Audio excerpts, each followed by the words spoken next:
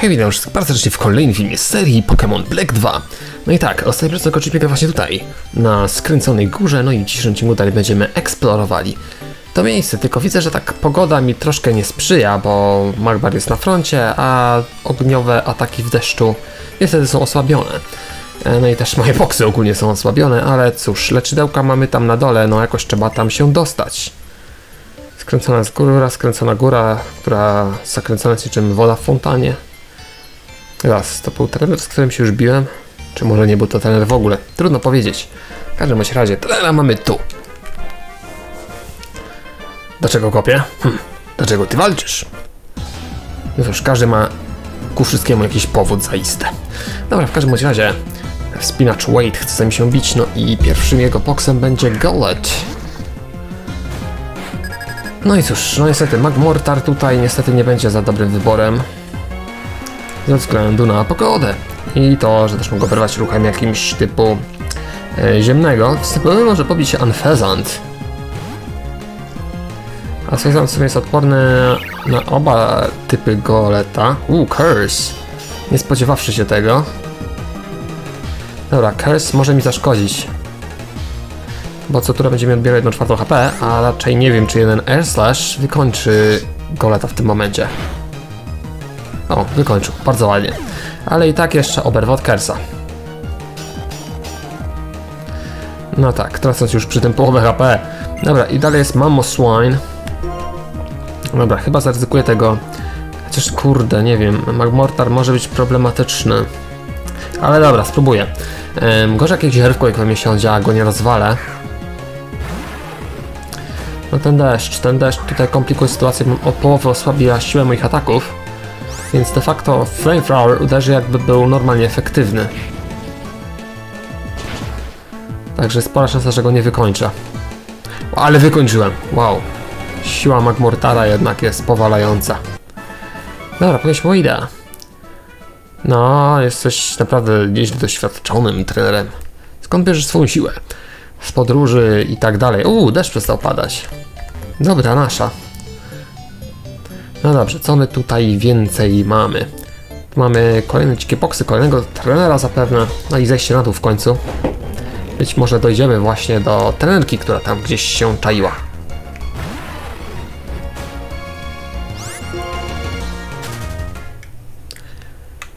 Dobra, tu mamy jeszcze jakiegoś gostka. Skręcona góra zmienia się z każdą porą roku. Ym, a taki dziwny gość starszy jak ja zmienia się z każdą walką.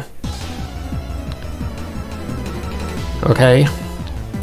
Dobra, w każdym razie kolejny trener, tym razem pracownik GOS i Geodude. No i Geodude też nie jest przeciwnikiem na Magmortara. No ale dobra, pewnie bankowo ma Starly, więc nie wykończy go na jeden cios. No oczywiście. E, No i Explosion! Taka silniejsza wersja Soul Destruct się wykończy, ale przy okazji przywali mi i to tak mocno. Dobra, dalej Boldor. Coś innego trzeba wysłać. Spróbuję może Hydreigon. Mamy naszego Dragon Pulsa, może coś tutaj tym podziałamy. Przynajmniej nie będzie miał na mnie super efektywnych ataków. No i de facto ataki ziemne nie będą też na mnie działały. No dobra, to z mojej strony Dragon Pulse. I tak go nie wykończę, ale... Ale przynajmniej porządnie osłabia. No wiadomo. I Stone Edge trafiony. Niedobrze, niedobrze. Dobra, Ace Fang. W sumie to cokolwiek mogło być. Poko pokonuje Boldora, no i jeszcze jeden box, jest nim Steelix. Dobra, w sumie mam Flamethrower, więc na dobrą sprawę też się nada. No i Steelix, podobnie jak pozostała reszta boxów, może mieć też Starly, więc też nie wiadomo, czego wykończy od tak. O, jednak nie miał Starly, to dobrze, chociaż jeden.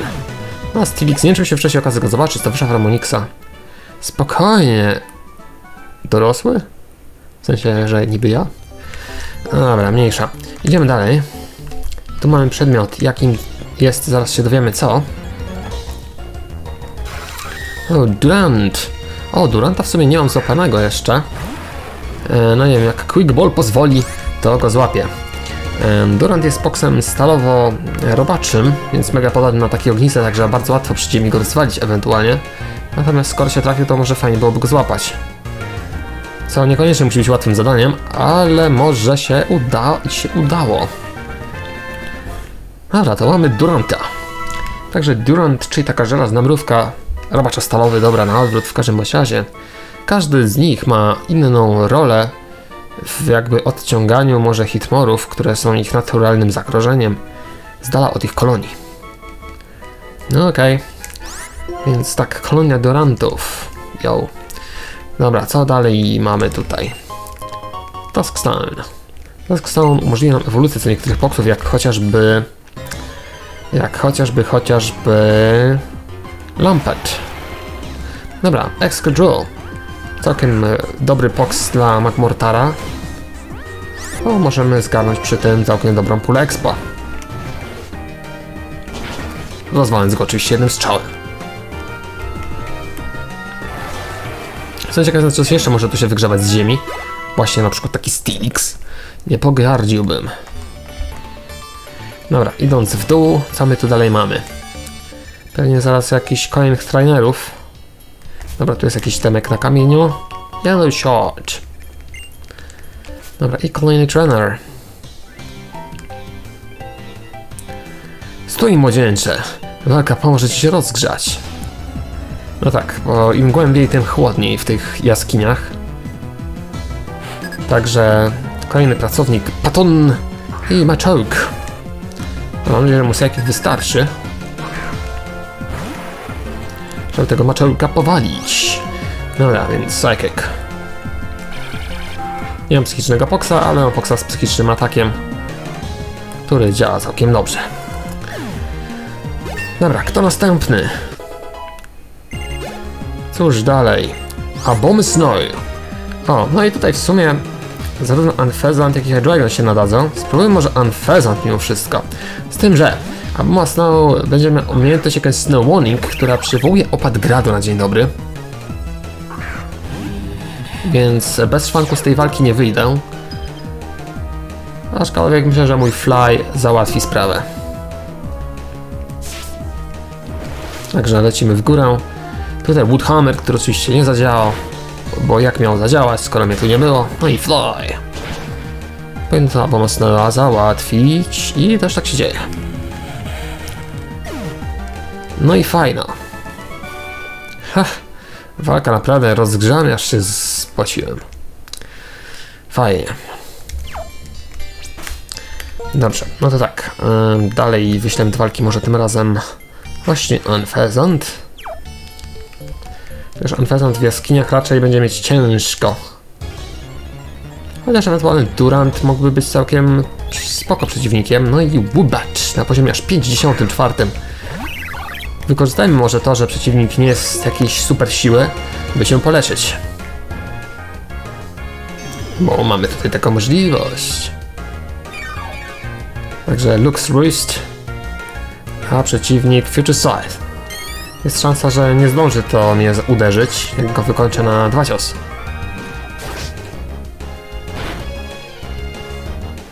Albo jeden. Dobra, 500 punktów expa. To tyle co nic na już moje foksy. Dobra, idąc dalej, to powinienem wyjść obok trenerki, która może mnie podleczyć.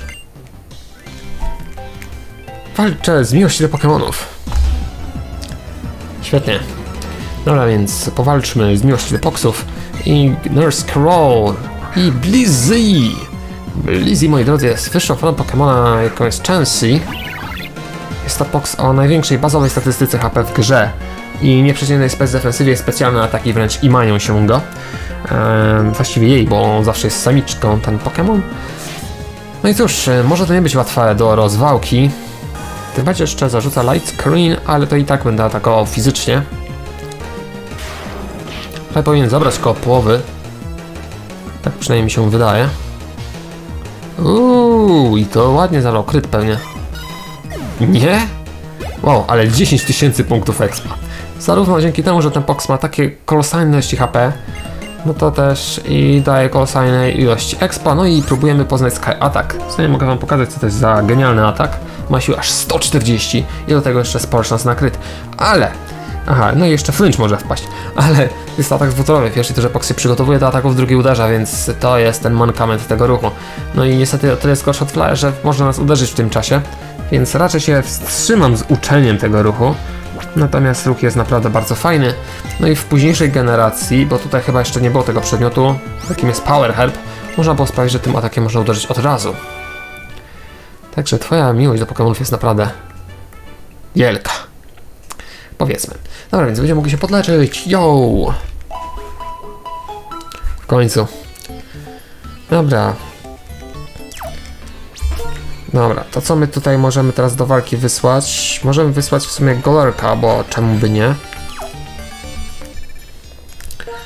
Dobra, sobie maszyn zarzućmy, tu jeszcze mamy Full Restore. Dobra, i zaraz e, dopchamy się do najgłębszych chyba części jaskini. Także, czy ten, góry, można by rzec.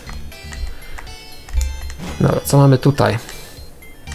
W sumie tam jeszcze coś było. Dokładnie. A tym czymś jest M90 duży Flash Cannon. Flash Cannon to atak stalowy specjalny, może też obniżyć celność przy odrobinie szczęścia. Znaczy celność nie, chyba Spec Defense on obniżał nie celność. Mirror Shot obniżał chyba celność. Dobra, w każdym razie mamy tu jeszcze Electric Jam. Dobra. I coś jeszcze dalej. No, sporo tutaj odnóg ma ta jaskinia, także będzie trzeba połazić tu i ówdzie. I już Durant. No cóż, Kolork może nie mieć za łatwo z Durantem. Zobaczmy jak zadziała Thunder Punch. O, żeż ty w dig. Ale tutaj to Earthquake by się teraz zdał. I to jak? A, sobie mam no guard, więc nieważne. Dobra, i tak tego Earthquake'a użyję. Widzę, że ten Thunder Punch to tak za dużo nie, nie, nie, nie wskóra.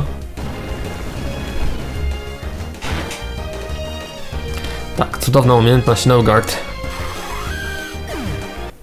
Dobra, i całkiem eksplotajne są też duranty. No, pójdź może w tę stronę na razie. Bo tu coś jest, a tym czymś jest Shredbound, przedmiot, który możemy też sprawdzać za nie ma pieniążki. No i zastosowań jakichś większych nie ma. Dobra, i Bonix. Może udałoby mi się zwiać z tej walki, bo Onyx jest raczej mało eksplotajne. Więc e, wolę zdecydowanie pobić się z Durantem. Dobra, co my tu więcej mamy? Tu coś jest. Ultrabolik. Czyżby jakieś ciekawe mony miały się gdzieś tu kryć? Połazimy, zobaczymy. Dobra, i Godo.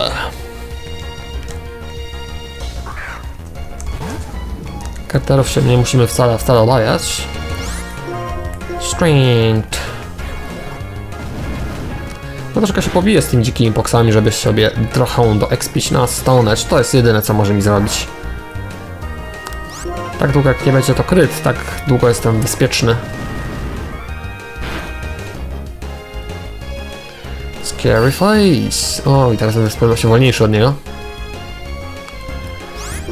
To może Thunder Punch na dobicie.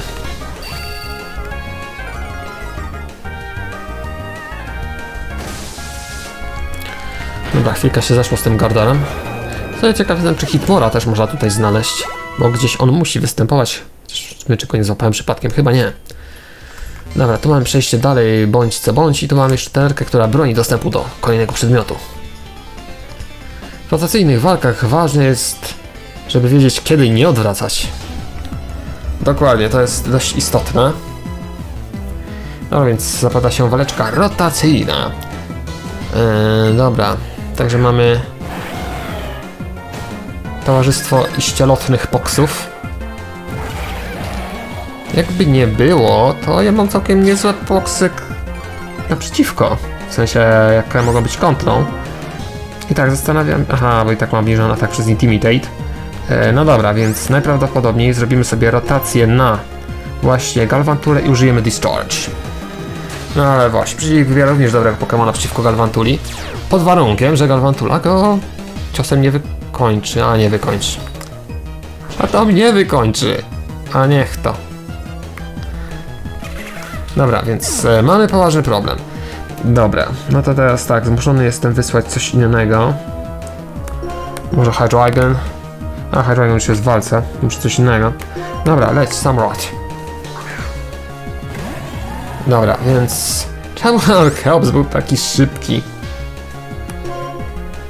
Dobra, chyba zmuszony jestem użyć Thunder Puncha. No i do akcji wchodzi Gyarados. Z jednej strony dobrze. Z drugiej strony niedobrze, bo leci Aqua Tail. Ja pierniczę. Przeciwnik mnie kosi, ja mogę to przegrać. Robi się bardzo niebezpieczna sytuacja. Anfazant. Ale Anfazant i tak nic nie zrobię. Chyba zmuszony jestem użyć... Dobra, neutral. I z mojej strony poleci... No pewnie jakiś walczący atak ma Kangaskhan, ale no cóż, nie mam innej opcji za bardzo.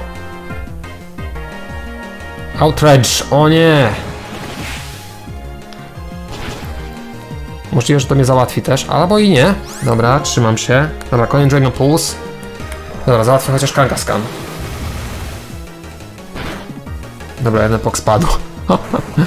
Ale ma kontry na wszystko, co ja mam. Żeby ten Kelps nie był taki szybki, to bym załatwił to od tak, a w tej sytuacji, no niestety. Dobra, Gyarados. Nie wiem, może mieć jakiegoś Ice Fanga albo coś takiego. To też jest kłopot. Ale dobra, Dragon Pulse z mojej strony. Dobrze, że Hydreigon jest szybki. Osłab to jak najbardziej się tylko da. Dragon Dance. O, żeż ty. Dobra, sytuacja robi się bardzo skomplikowana. Dobra, jeszcze raz Dragon Pulse.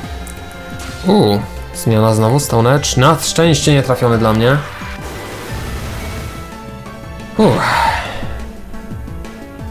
Dobra, prawie załatwiło. Dobra, teraz chyba będę zmuszony użyć... Um... Dobra, Ice Beam. No ale przynajmniej jeżeli miał być jakiś wodny atak, to jakoś to zniosę chyba. Kolejny Dragon Dance, o nie. Mam za wolne poksy. To jest problem. Jest, Frozen! Pytanie na jak długo. Dobra, zamarznięty jest, świetnie. Chyba jeszcze nie mieliśmy okazji zobaczyć Freeza w piątej generacji. Przynajmniej tak, żeby wypadł z mojej strony. Dobra, użyjmy Waterfalla dla odmiany. Dobra, to Arkeopsa załatwi. Acrobatics. Pytanie, czy to mnie nie załatwi, ale raczej nie. Dobra, Waterfall. Ale nie mam farta z tym Freezem. Gdyby nie to, mogłoby być różnie de facto. Dobra, teraz zrobimy safe play. Czyli zmienimy sobie na Unfezant i Quick Attack. Jej! Jakimś cudem się udało. No, co nie zmienia faktu, że spora część moich boksów wpadła. Trenowałem rotacyjne walki przez dwa lata, ale to wciąż niewystarczająco. No, nie powiedziałem, ale dobra. O i mamy temat 90 z ruchem Substitute. No i subcio. Dobra, wracam, wracam się polecić, bo moja drużyna jest w opłakanym stanie. Styl bowlu. Chyba Hydreigon teraz będzie tak. Dobra, nie bije się Hydreigonem na razie.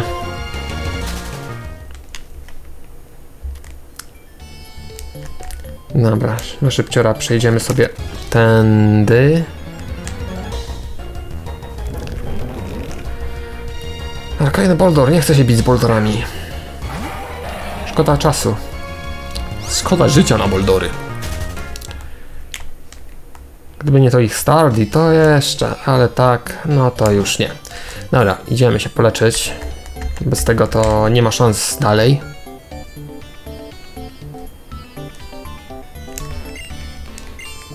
Dobra.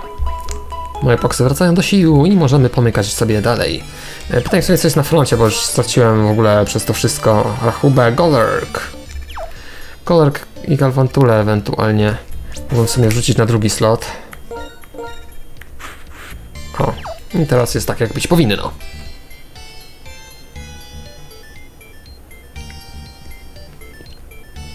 Dobra, no to idziemy z powrotem.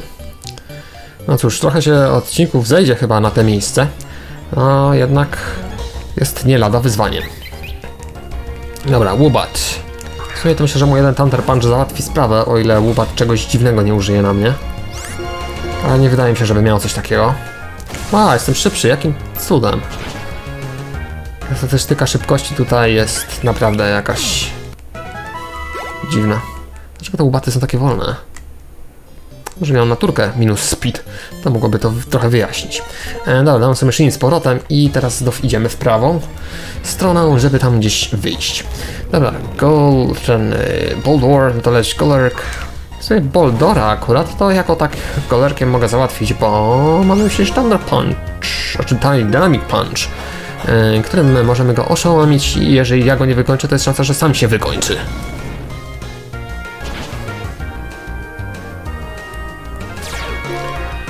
Dobra, jest oszłamianko, no i jaki ma to skutek?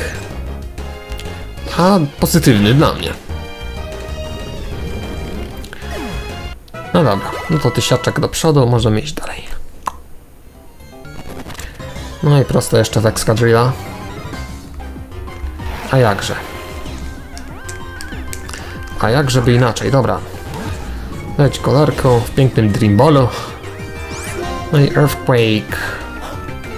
Dobra, Quick i Chloe bardzo dobrze, Excadrill byłby pewnie szybszy.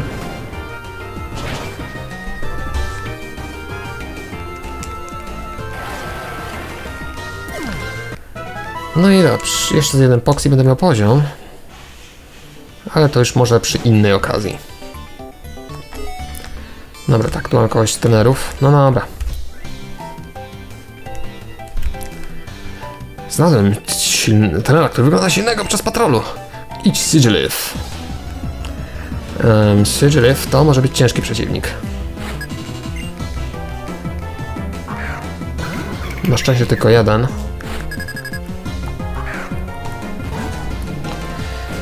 Dobra, cóż, próbujemy Thunder Punch z mojej strony. Oho, Cosmic Power. No niedobrze.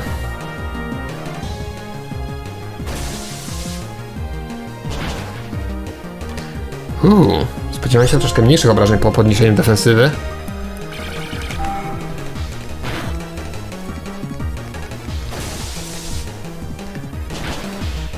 Dobra. Surgery pokonany.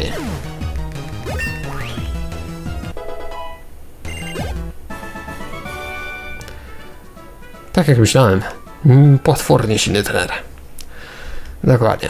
Dobra, ciśniemy dalej. W sumie to tak, yy, mógłbym zmienić pierwszego poksa na właśnie Galvantule.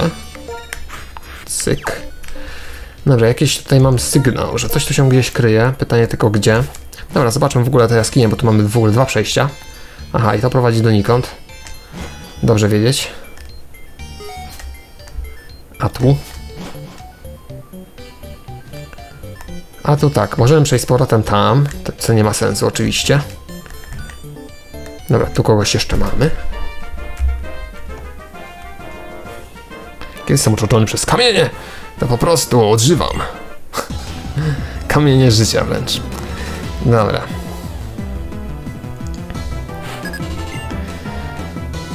Więc spinacz counter i larwitar. W sumie to chyba larwitar też może gdzieś tu złapać. Proszę, może niekoniecznie tu, ale w tej grze. Dobra, mniejsza. Energy Ball, na coś się przyda.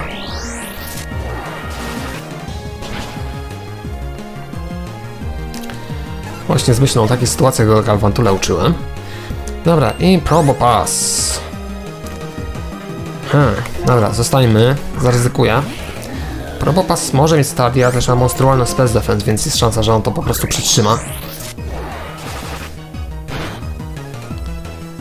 A, zapomniałem, że on też ma typ stalowy. Więc może to nie być jednak za dobry żeby się bić Galvantulą. Hmm, najlepszym wyborem w sumie byłby Golek, bo on ma Dynamic Punch.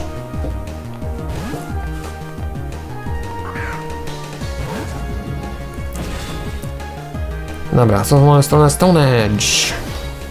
W połączeniu z Lokonem to byłoby dość zabójcze dla Galvantuli. Lokon w sumie nie wiem, czy mi się okazji zobaczyć tego wcześniej, on sprawia, że zawsze kolejny atak yy, trafia po prostu.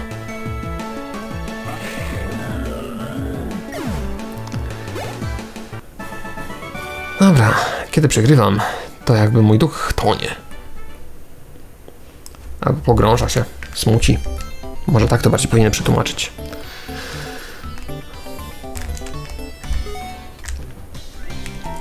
Dobra, kolejny trener. Kombinacja. Albo z, o, zobacz kombinację mojego typu lodowego z gorącym duchem walki. Zapowiadają się roztopy. Dobra. Mm, W każdym razie dwa poksy u Wiktora i pierwszym jest Gladly. Poks lodowy. No i właśnie lodowe poksy też e, uraczyły właśnie w czeluściach tej jaskini, gdyż jak wspomniałem em, są tam im głębiej, tym chłodniej. Tak to możemy podsumować. Dobra, z mojej strony Bogboz. Nie wiem, czy Glali będzie mógł mi czymś dokopać solidnie. Hail. No, to może troszeczkę poranić mnie, ale raczej nieznacznie. No, Ice Body ma. No to się będzie leczył troszeczkę, ale tylko troszeczkę, co oczywiście nie wystarczy, by mnie pokonać. Widzę, że podobno mnie też Rain Dish z kolei, która też leczy w deszczu, tylko że... Em, dobra, no i kolejnym poksem będzie Bertik. Zaryzykuję i zostanę. Z Bertikiem już mieliśmy się okazję mierzyć. Pytanie tylko, czy on nie ma jakiegoś kamiennego atak. Czemu ja nie trafiłem? Rest? Co, co tu się dzieje? Dobra, jeszcze raz. No, jakim cudem? Dwa razy z rzędu nie trafiam. Dobra, Blizzard. Blizzard ma to do siebie, że on ma nieograniczoną celność w czasie opadu gradu. Także na to trzeba by uważać. Dobra, lećmy Mortar w takim razie. Znów Blizzard. Dobra, opad gradu się skończył. No i kończy się też Bertik. Flamethrower go załatwi. A czemu? A, bo on przecież ma ten, umiejętność Snowcloak, która sprawia, że jego unikliwość z kolei zwiększa się w czasie gradu i to dla, pewnie dlatego nie mogą trafić. To by wyjaśniało dwa pudła ruchem o 100% celności. No na to, że ty również tworzysz ciepło-chłodną kombinację. Powiedzmy. Dobra, zmiana w drużynie. Teraz na front wyślę Samurata może. Już jakiś czas nie biłem nim na froncie przynajmniej. Dobra, co my to więcej mamy? Tu coś jest, zobaczmy co to jest to, to ukryte. Jest to Rare Bone, kolejna rzadka kość. Rzadka w sensie rzadko spotykana. I Dusk Ball. Dobra, Dusk Ball mnie nie obchodzi, idziemy dalej. Też jest coraz chłodniej, więc jest coraz większa szansa na to, że spotkam coś nowego i jest to na przykład Hitmore, który jest raczej poksem gorącym, bo ognistym. Em, no i sobie spróbujemy go złapać w takim bądź razie. Wielki wróg Durantów. Chociaż w oryginale White i Black on tutaj nie występował, one były na Victory Road. E, więc widać przeprowadziły się tu. No i niestety, ale nie udało się. No czymś muszę go osłabić w takim razie. Spróbuj Ice Beamem, no wiem, że będzie nie to nieefektywne, ale no... Muszę w niego przywalić tak chociaż ze 2-3 razy. Może go zamrożę, to by bardzo pomocne było. Ale jakoś szczęście pod tym względem nie chce się do mnie uśmiechnąć. Przynajmniej w tym wypadku. Dobrze, z drugiej strony dobrze, że też mnie nie atakuje, tylko ciągle raz pita. Bez e, stockpile'a ten atak oczywiście nic nie robi. Dobra, jak Quick Ball nie dał rady, to może Ultra Ball za którymś razem da radę. Czy on naprawdę nie ma żadnych innych ruchów, tylko ciągle to i to i to.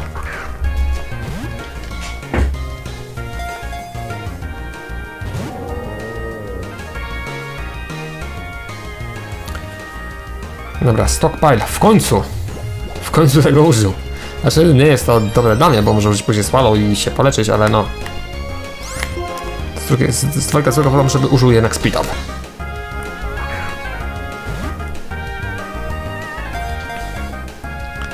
No i ani drgnie. Czemu to jest takie trudne do złapania? No i właśnie, to jest taka ciekawa taktyka właśnie. Stockpile e, można użyć trzy razy, przy tym podkręca on defense i spec defense. No i później w zależności od ilości użytych stockpili, ruchy tak jak swallow czy speed up mają mocniejszy efekt. Speed up jest uderzeniem, a kolei swallow leczeniem. Tylko po użyciu też e, efekt stockpila znika, czyli znikają też i wzmocnienia w defensywach. A z drugiej strony fajne jest to podbicie, że można zwiększyć sobie defense w dwóch, statystykach. Dobra, w każdym razie mrówkoja typu ognistego, czyli Hitmore. Yy, wciąga powietrze przez ogon, przemieniając je przez ogień, którym używa jak język. Topi on duranty i potem zjada. Aha, ciekawe, więc Fox, który wciąż zaciąga powietrze ogonem. Niesamowite. Dobra, idąc dalej, docieramy do kolejnego wyjścia. I do najgłębszych zakątków Twist Mountain. Ale nimi zajmiemy się myślę już w odcinku następnym. Ale ten śmietnik jeszcze tylko zobaczymy. Bo w śmietniku mamy Full Restore. No kto mógł wyrzucić tak dobry przedmiot? Dobra, moi drodzy, jeżeli chodzi o dzisiejszy odcinek, to będzie już wszystko, więc ja z wami żegnam do usłyszenia w kolejnych filmach serii. To do usłyszenia.